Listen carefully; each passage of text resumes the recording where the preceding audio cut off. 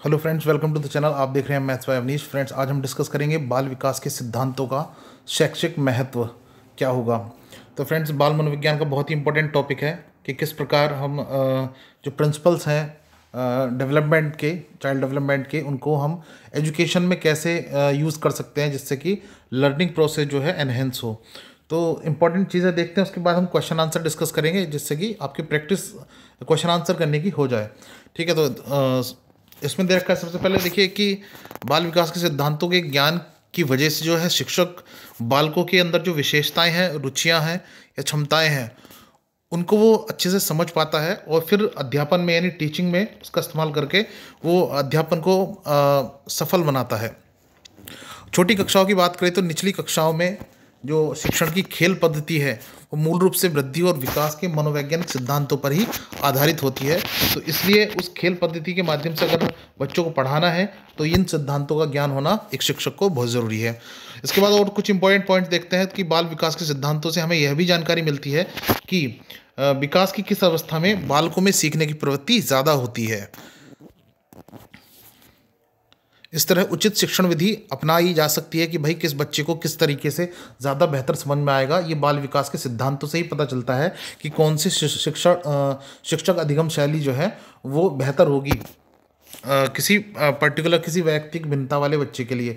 अलग अलग वैयक्तिक भिन्नता लेकर बच्चे पैदा होते हैं तो उनको पढ़ाने की कला भी, शिक्षण विधियाँ भी अलग ही होनी चाहिए। ठीक है? तो बालकों की वृद्धि एवं विकास के सिद्धांतों से बालकों की भविष्य में होने वाली प्रगति का अनुमान लगाना काफ़ी हद तक संभव होता है। तो बाल विकास के सिद्धांतों का ज्ञान इसलिए भी ज़रूरी है क्योंकि भविष्य में किस बच्चे के अंदर क्या प्रगति होने वाली है उसका अनुमान लगाया जा सकता है। जैसे कि छोटी क्लास में अगर बच्चा अच्छा परफॉर्म कर रहा है वो लर्निंग प्रोसेस उसका अच्छा है तो वो आगे जाके कोई सफल अ, काबिल इंसान बन सकता है। ठीक है, इस तरीके से। इस तरह बाल विकास के सिद्धांतों की जानकारी बालकों के मार्गदर्शन, परामर्श, निर्देशन में सहायक होकर उनके भविष्य निर्माण में प्रमुख भूमिका निभाती है। तो मार्गदर्शन करने में टीचर्स को आसानी होगी, उनको परामर्श देने में, निर्देशन देने में उनको आसानी होगी। टीचर को अगर इन शिक्षण सिद्धांतों का पता होगा, बाल विकास के सिद्धांतों का पता होगा। वृद्धि और विकास की सभी दिशाएँ अर्थात विभिन्न पहलू जैसे मानसिक विकास, ठीक है, वृद्धि और विकास की ये दिशाएँ हैं, ये आयाम हैं, मानसिक विकास, शारीरिक विकास, संवेगात्मक विकास और सामाजिक विकास। ये एक दूसरे से संबंधित हैं, जुड़े रहते हैं।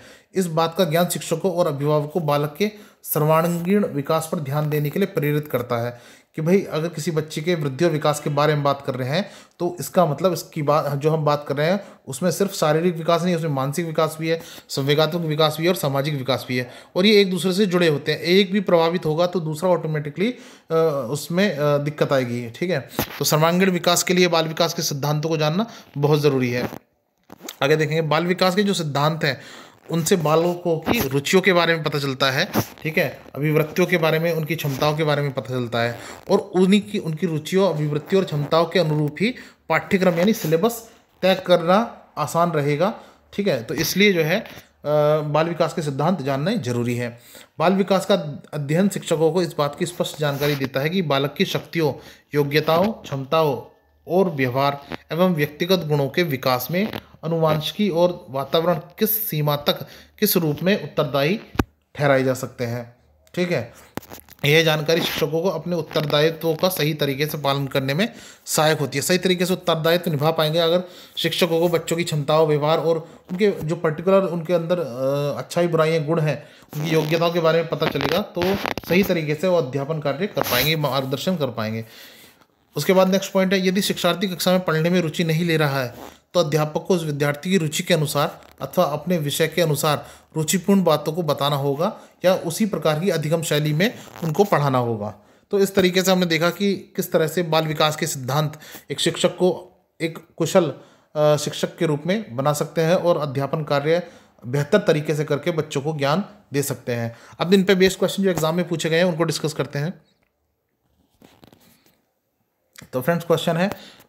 सी टेट में आया हुआ क्वेश्चन बच्चे के विकास के सिद्धांतों को समझना शिक्षक की सहायता करता है। किस प्रकार सहायता करता है? तो पहला ऑप्शन है शिक्षार्थी की आर्थिक पृष्ठभूमि को जानने में। तो ये तो बिल्कुल नहीं होगा। शिक्षार्थी को क्यों पढ़ाना चाहिए? यह औचित्य साधन है। तो क्यों पढ़ाना चाहिए? इससे तो कोई आ, मतलब नहीं है। बाल विकास के सिद्धांतों का बाल विकास के सिद्धांत तो हमें इस बात में मदद करते हैं कि किस बच्चे को किस अधिगम शैली में पढ़ाना बेहतर होगा। तो ये ऑप्शन नंबर थर्ड कहता है। अधिगम शैलियों को प्रभावी रूप से संबोधित करने में, ठीक है? नेक्स्ट क्वेश्चन देखते हैं।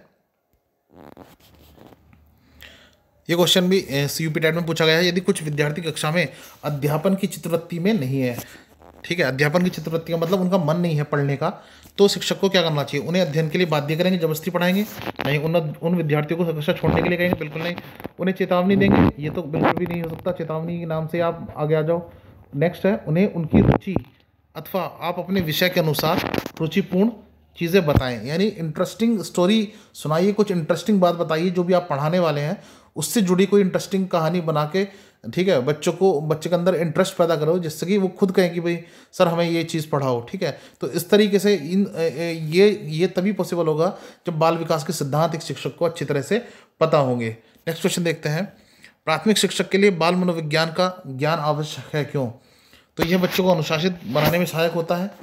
परीक्षा परिणाम में उन्नति, यह बच्चों को अभिप्रेरित करने के लिए सुविधाजनक तरीका बन जाता है। बच्चों के व्यवहार को समझने में शिक्षक की सहायता करता है। तो देखिए, यहाँ पहला और दूसरा ऑप्शन तो बिल्कुल ही गलत दिख रहे हैं। थर्ड और फोर्थ देखते हैं, ये बच्चों की को अभिप्रेरित करने के लिए सुविधाजनक तरीका बन जाता है। अभिप्रेरणा की बात की गई है। ठीक है? जबकि सबसे इंपॉर्टेंट बात बाल विकास के सिद्धांत या बाल मनोविज्ञान को जानने का ये होता है कि बच्चों के व्यवहार को एनालाइज किया जाए। ठीक है? वो कैसे रिएक्ट करेंगे? कौन से पार्ट पढ़ाएँ तब उन्हें दिक्कत होगी किस तरीके से पढ़ाएँ। तो उनके व्यवहार को एनालाइज करना ज़रूरी है और उनके व्यवहार को जानकर, समझकर, उनकी जो समस्या जिस भी टाइप की समस्या है, उसका निराकरण तब हो पाएगा। ठीक है? तो बच्चों के व्यवहार को समझना पहले इंपॉर्टेंट चीज़ है। Option number four correct answer next question देखते हैं। शिक्षक को ज्ञान होना चाहिए। किस बात का? अध्यापन विषय का, बाल मनोविज्ञान का, शिक्षा संहिता का, अध्यापन विषय, बाल मनोविज्ञान दोनों का। तो अध्यापन विषय का भी यानी जो वो पढ़ाना चाहता है, उसको वो अच्छे खुश, खुद से अच्छे से आता हो और बच्चों के बाल मनोविज्ञान का तो option number four correct answer I hope कि आपको ये क्वेश्चन आंसर सेशन पसंद आया होगा और बाल विकास के सिद्धांत क्यों इंपॉर्टेंट है, ये भी बात आपके दिमाग में बैठ गई होगी। अब जब भी एग्ज़ाम में क्वेश्चन आएगा तो आप उसी के अनुरूप क्वेश्चन आंसर अपने कर सकते हैं। तो फ्रेंड्स मिलते हैं नेक्स्ट वीडियो में, तब तक के लिए धन्यवाद।